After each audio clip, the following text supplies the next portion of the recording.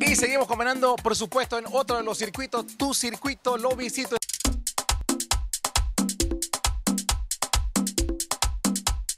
Estamos en el circuito 8-1 con mi amiga Rosa Canto, la gente de La Mata. Buenas tardes, ¿cómo está la gente por acá?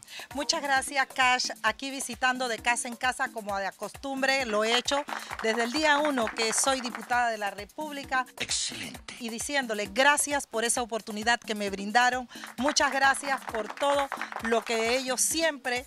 Ajo, ajo. Mira, mira, eso es buena suerte. Aquí hay algo dulce siempre. Siempre está la dulzura en este equipo. Siempre tenemos la dulzura de este Y equipo. sigue la dulzura. Y sigue la dulzura, así que. Y por lo que vemos no va a parar. La abeja, ay, no. Bueno, estamos, como te digo, llevándole la propuesta aquí a todos de casa en casa y con un gran recibimiento Eso. que me abren las puertas con mucho cariño y mucho respeto, porque yo toco esa puerta con mucho respeto, Ok. Mucho amor. mucho. Y ahora, mucho Rosa, y ahora algo muy importante. Este año viene con más experiencia y con muchas más propuestas para este circuito.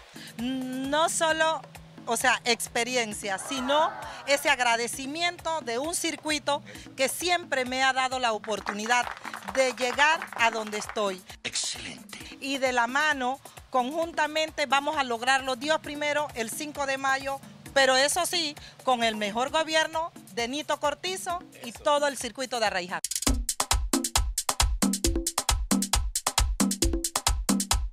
Señores y señores, estamos acá con el próximo, el hombre que va a estar en el pleno de la Asamblea Nacional, Héctor Brandt, papá del circuito 8-7.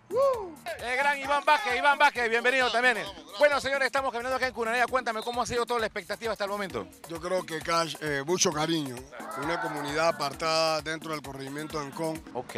con muchas necesidades, y lo que nos ha transmitido a todas las personas en este sector es que Iván Vázquez ha estado haciendo un trabajo por 10 años. Pero no es suficiente, y hay que fortalecer la descentralización, que los recursos que lleguen a las juntas comunales realmente tengan una mayor solidez para que el representante pueda atender la, la necesidad inmediata de la comunidad. Es lo que hemos palpado aquí en esta noche. Y lo más importante, que la gente va a salir a votar el 5 de mayo, Cash. Y nos van a dar el voto primero Dios, Iván va a seguir siendo representante.